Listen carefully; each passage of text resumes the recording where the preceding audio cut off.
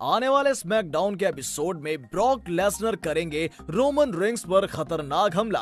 और क्या वजह है कि रॉ का डब्ल्यू डब्ल्यू चैंपियन बनने के बाद भी ब्रॉक लेसनर स्मैकडाउन में आ रहे हैं? जानेंगे ये सब कुछ इसी वीडियो में तो वीडियो को पूरा ज़रूर देखिएगा। दोस्तों, डे वन में जब ब्रॉक लेसनर ने डब्ल्यू टाइटल जीता तो सभी फैंस को लगा था कि अब रोमन और ब्रॉक की फ्यूड खत्म हो चुकी है। और ब्रॉक अब सिर्फ़ मंडे नाइट रॉ में ही हमें दिखाई देंगे, जबकि रोमन रिंग्स की फ्यूड ड्रू मैकेंटायर के साथ शुरू हो जाएगी। और रॉयल रंबल में हमें रोमन और मैकेंटायर के बीच यूनिवर्सल टाइटल के लिए मैच देखने को मिलेगा। वहीं ब्रॉक लेसनर अपना डब्ल्यू टाइटल बॉबी लैशली के खिलाफ डिफेंड करेंगे। लेकिन डब्ल्यू डब्ल्यू में अभी एक पंगा हो गया है, जिस वजह से ब्रॉक लेसनर को स्मैकडाउन में आना पड़ रहा है। ऐसा होने का असली कारण है कि ड्रू मैकेटायर को नेक इंजरी हुई है मतलब वो चोटिल हो चुके हैं। इस नेक इंजरी की वजह से वो कुछ समय के लिए डब्ल्यू डब्ल्यू में नहीं दिखाई देंगे।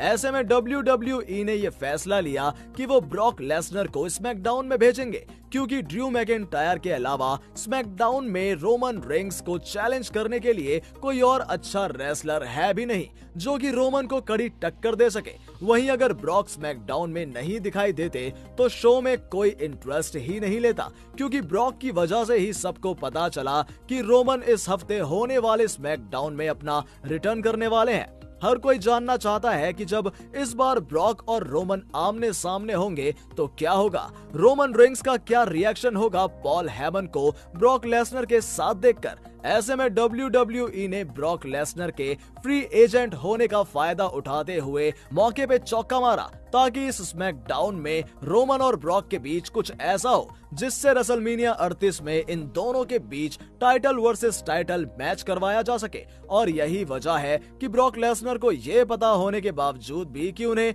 रॉयल रंबल में बॉबी लैशली का सामना करना है। वो लैशली पर अपना फोकस न रखते हुए रोमन रिंग्स पर अभी भी अपना फोकस बनाए हुए हैं। जैसा कि रॉ में ब्रॉक ने कहा था कि आने वाले स्मैकडाउन में वो आ रहे हैं और वो रोमन को देख लेंगे मतलब ब्रॉक ने रोमन के स्मैकडाउन में रिटर्न के बारे में सबको बताते हुए रोमन को चेतावनी देने के साथ साथ रोमन को धमकी भी दी है। और पहले की तरह ही ऐसा एक बार फिर हो सकता है कि ब्रॉक लेसनर रोमन रिंग्स पर खतरनाक हमला करते हुए दिखाई दे और रोमन को कहें कि मैं डब्ल्यू डब्ल्यू ई चैंपियन तो हूँ ही, लेकिन मुझे अब यूनिवर्सल चैंपियनशिप भी चाहिए और वो दोनों टाइटल्स को एक साथ अपने हाथों से उठाए। इस तरह से रोमन और ब्रॉक के बीच रसलमीनिया 38 के लिए टाइटल वर्सेस टाइटल मैच का बिल्डअप स्मैकडाउन के इस एपिसोड से ही बनना शुरू हो जाएगा। तो दोस्तों, क्या आप देखना चाहते हैं Roman Reigns versus Brock Lesnar का title versus title match WrestleMania 38 में? कमेंट करके ज़रूर बताइएगा और वीडियो पसंद आया हो तो इसे लाइक और शेयर ज़रूर करें। चैनल को सब्सक्राइब करके बेल आइकन को ज़रूर प्रेस करें। Believe in God and thanks for watching.